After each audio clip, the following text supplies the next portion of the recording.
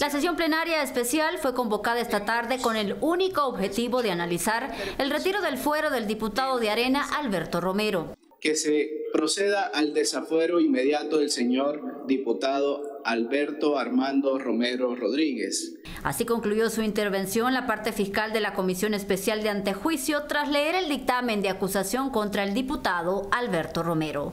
La documentación a la que tuvieron acceso señala 21 hallazgos de supuestas irregularidades encontradas en las declaraciones patrimoniales del legislador por 1.1 millones de dólares, a quien Fiscalía acusa de enriquecimiento ilícito y lavado de dinero. Dentro de estos hallazgos tenemos que 14 de las irregularidades son de Alberto Romero. Las otras irregularidades de las 21 encontradas son precisamente de la esposa y de la hija. La defensa del legislador refutó los alegatos de la Comisión de Antejuicio señalando que ni ellos ni Fiscalía tienen sustentado un caso sólido contra el legislador es una realidad que va a ser desaforado. Yo lo sé.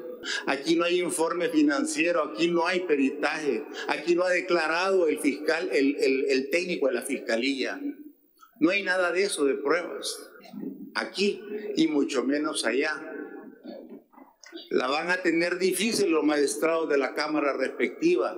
Después de más de tres horas de alegatos e intervenciones, con 78 votos, el diputado Alberto Romero fue desaforado. Te dejaron solo, tu familia te dejó solo. Tenés la oportunidad de demostrarle al pueblo allí donde vas a estar que podés todavía hablar con la verdad y quemar el montón de sinvergüenzas que todavía le deben al pueblo salvadoreño. Nosotros no somos jueces para condenar a nadie.